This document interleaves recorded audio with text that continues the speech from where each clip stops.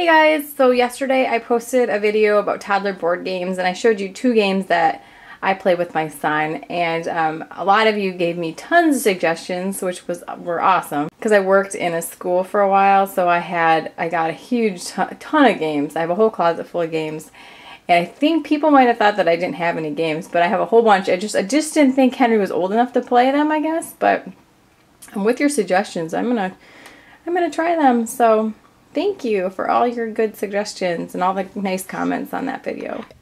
We have Giant Dominoes, Trouble, Guess Who, Hi Ho Cherry-O, Hands Down, um, cards, some other like old maid cards, Connect Four, it's called Lineup, Battleship, Scrabble, Yahtzee, Sight Words, which is just like for when he's older. Another hands down game because I played it at a school and the kids love that.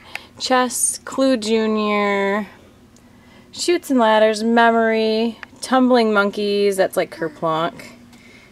Another Trouble Game. Another Hi Ho Cherry-O. I have like two of everything. Another Connect 4. Um, that's like some dominoes. CLR. Like a Hero Quest game. This is a really cool one. The Game of Life, Monopoly, Candyland, Sorry, Arthur, and Tarzan Tree Chop Chase. So yeah, we have plenty of games at our house. I just gotta, didn't think Kenny was old enough, but I think we're gonna start trying to play some of these. That'll be fun. So have a good day, everybody.